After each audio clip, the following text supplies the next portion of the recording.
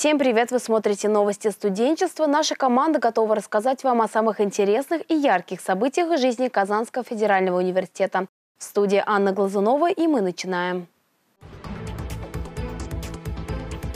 Эксперты Казанского университета говорили на тему управления образованием. Для студентов КФУ прошел учебный пресс-тур в Дом правительства Татарстана. Новый тренд мобильной индустрии – гнущиеся смартфоны. 25 февраля в городском дворце творчества детей и молодежи прошла 30-я отчетная сессия городского совета города Набережные Челны. В сессии приняли участие президент Республики Татарстан Рустам Миниханов и представители Набережно-Челнинского института Казанского федерального университета. На площади перед Дворцом творчества была организована выставка техники. Рядом с экспозициями ведущих автопроизводителей города был выставлен болид Формула «Студент», подготовленный студентами Набережно-Челнинского института КФУ, который они продемонстрировали президенту Татарстана. Спортивный автомобиль привлек внимание всех участников мероприятия. А мы продолжаем. Высшая школа государственного и муниципального управления Казанского федерального университета провела общеуниверситетский методический семинар совместно с Высшей школой экономики. Эксперты говорили на тему управления образованием, о том, какие вопросы обсуждались в рамках семинара, узнаете в следующем сюжете.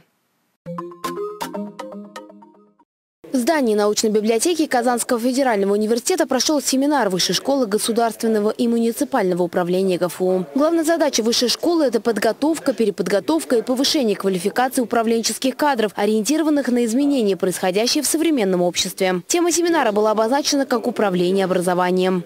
Темой которой сегодня будет посвящен семинар, она связана с подготовкой э, и профессиональным развитием директоров общеобразовательных организаций. В настоящее время эта тема очень актуальна. На федеральном уровне большой акцент делается на уровне компетенции, профессионализме руководителей школ а Российской Федерации.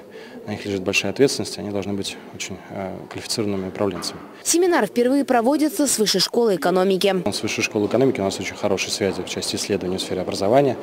Мы печатаемся у коллег в журнале э, «Вопросы образования». Они печатаются в нашем журнале «Образование и саморазвитие». У нас есть совместные исследования, мы приезжаем друг к другу на конференцию, у нас идет хороший научный обмен.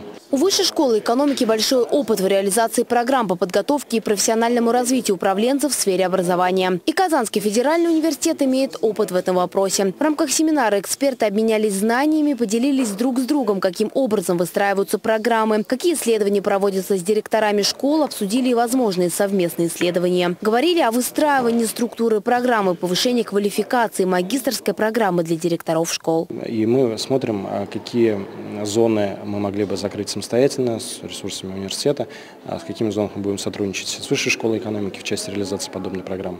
А, возможно, где-то каким-то направлением мы отправим коллег на повышение квалификации Высшей школы экономики, где-то, возможно, будем сотрудничать удаленно. Участие в семинаре приняли все заинтересованные институты КФУ, социологи, экономисты и юристы. Анна Глазунова, Ленар Давлетьяров, Univer News. В Институте психологии и образования Казанского федерального университета прошел День памяти Януша Корчика. Он является выдающимся педагогом, писателем, публицистом, защитником прав детей. Его научные работы стали основой для Декларации прав ребенка, а литературные произведения были переведены почти на все языки мира. Подробности смотри в сюжете. В Институте психологии и образования Казанского федерального университета прошел День Януша Корчака с участием польского профессора Марлены Сенчик. Януш Корчик – выдающийся польский педагог, писатель, врач и общественный деятель. Во времена Второй мировой войны отказался от спасения и пожертвовал собой ради детей. Польским профессором Марлены Сенчик было рассказано о биографии великого педагога, о его выдающихся достижениях и подходу к воспитанию детей. Лекция прошла для студентов-педагогов. Артем Тупичкин, Ленар Давлетьяров, Univer News. В рамках пресс-тура студенты Казанского федерального университета посетили Дом правительства Татарстана. Напомним, что главной задачей учебных пресс-туров является отработка на практических примерах навыков сбора, обработки и последующего распространения информации. Подробности в следующем сюжете.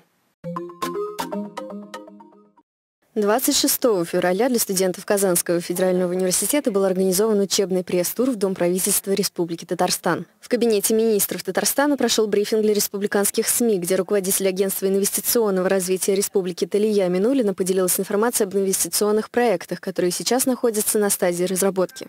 Большое количество проектов а, проходит, и только около пяти проектов находят а, свою практическую реализацию. Они а, на разных стадиях слетают. Или нет заказов, или нет софинансирования, или партнера локального подходящего нет. Разные вопросы бывают. То есть мы начинаем множество проектов и завершаем так. Но если не начинать э, вот эту большую воронку э, закручивать, то у нас не получится и тех 5%, о которых я говорю.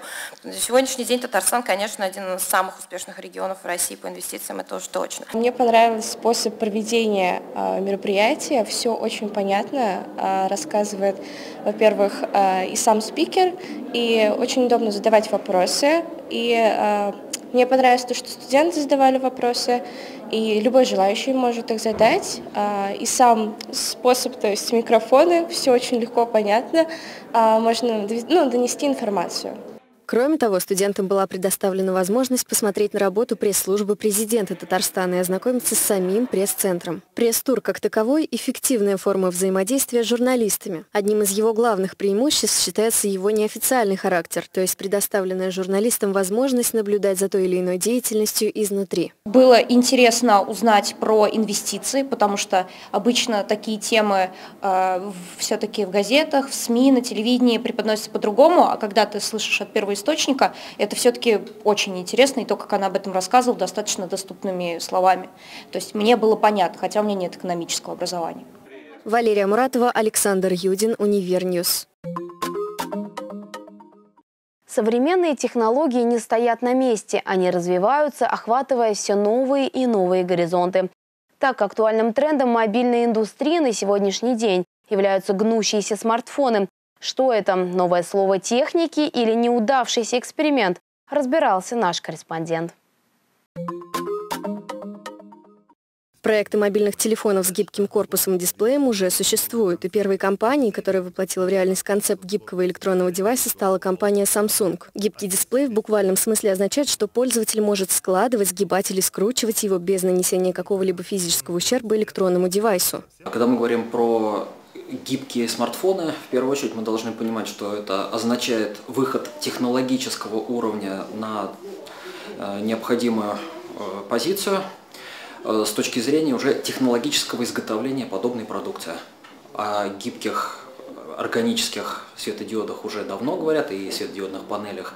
Но вот в данном случае у компаний, ведущих разработчиков не только телефонов, но и в первую очередь смартфонов, по сути этот инструмент уже вошел в технологический базис. Часть специалистов считает гнущиеся гаджеты новым трендом. Другая часть настроена более скептически и говорит, что смартфонов с гибкими экранами ждет забвение. Но у э, любого устройства, у которого появляются дополнительные степени свободы, а любой гибкий э, гаджет в первую очередь будет э, гибким за счет того, что появляется вот это вот дополнительная физическая э, степень свободы, э, с этим будет связаны определенные риски по надежности и качеству функционирования, особенно в первое время.